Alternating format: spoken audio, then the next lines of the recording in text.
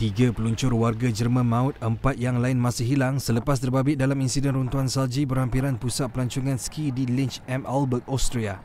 Polis di barat wilayah Vorarlberg berkata ketika kejadian, sekumpulan peluncur terbabit dipercayai sedang menaiki papan peluncur untuk menjelajah cerun dan luar kawasan luncur ski di pergunungan itu. Tiga lelaki masing-masing berusia 57, 36 dan 32 tahun dari Upper Swabah di barat Jerman ditemui kira-kira jam 11 malam semalam selepas salah seorang daripada isteri mangsa membuat laporan mengenai kehilangan mereka. Tambahnya keempat-empat mangsa yang berusia lingkungan 28 tahun dari selatan Jerman belum ditemui.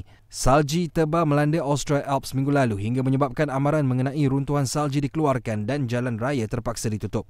Ekoran keadaan yang semakin berbahaya, amaran tahap 5 dikeluarkan di kawasan dengan ketinggian 2,000 meter dari paras laut.